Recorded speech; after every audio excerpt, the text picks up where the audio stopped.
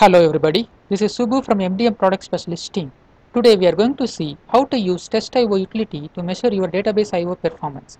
Whenever a performance issue is used faced within MDM, either it could be Hub Console, Batch Process, IDD or SIF call, you need to ensure that your database I/O performance is up to the mark. You can run this utility on the specific ORS schema which is facing issues. This is a custom utility which you can download from the knowledge base article 90855 which is available in Informatica My Support portal. To run this utility, you need a system DBA access as well as a read-write access to your Oracle server. What this utility does? Basically, this utility inserts millions of records into a table that it creates and measures different statistics. Once the statistics are gathered, you can see the output in a text file. As a general guideline based on our own benchmark, there are specifications the test results should match. If the measurements are not up to the expectations, you need to fine-tune your database I/O such as disks, disk partitions, etc. and retry the test I/O utility again. Let us see how to execute the test I/O utility now. Here I have connected to my Oracle server which is hosted in a Windows box. So I am going to download my utility directly into my Oracle server. In case if you are using a non-Windows Oracle server, you can download this utility in a local box and then upload it back to your Oracle server. This is a knowledge base article where you can download the utility which is a zip file. So let me save the zip file. And let me extract the zip file. Here you are going to see three files.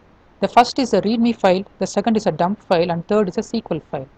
The readme file is going to have all the commands and instructions which you need to proceed with your testio utility. The first command is an import command to import the dump for which you need your system user ID and password. From user it's going to be the same as in the document.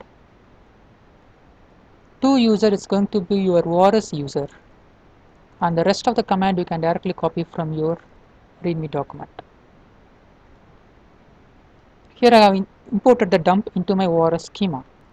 For the next command, you need to log into SQL Plus with your ORS user ID and password. Once connected, run the testio utility. This is going to take some time because this is collecting all the statistics for our analysis.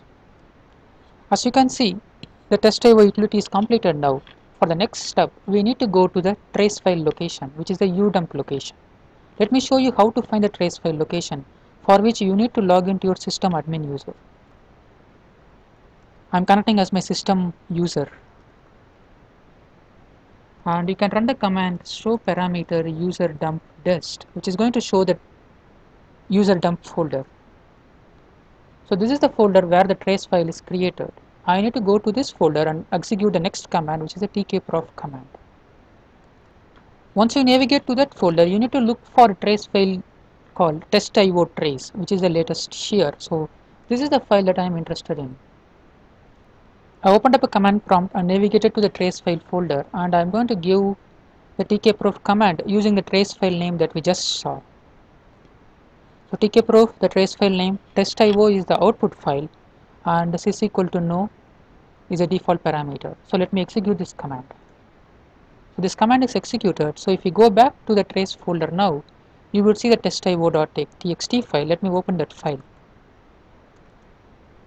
This is the final file that you need to validate.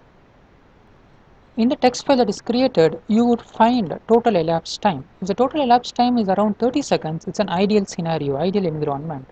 If it is around 50 plus seconds, it's a great performance.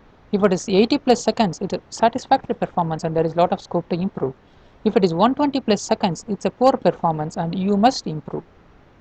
And you can refer to the knowledge base article 119558 for more information regarding this output file. Let's go back to the text file and as you can see here, if you go to the far end of the text file, you would see a table like format which will say total elapsed time. In this case, it's 138 comparing to our result, expected results 138 is not a good performance. There is a lot of scope to improve. So that is what we found out from our test. To improve the performance you need to work with your DBA network and infrastructure team to get a better IO on your database. Let's summarize what we just saw. Test IO utility is used to analyze database IO performance and it's a downloadable from the knowledge base article. You need a system DBA access with a read-write access to Oracle server and total elapsed time is to be verified with the recommended guideline and you can refer to the knowledge base article 90855 and 119558. We would love to hear from you. Please provide your feedback to supportvideos at informatica.com or info support in Twitter. Thanks for your time.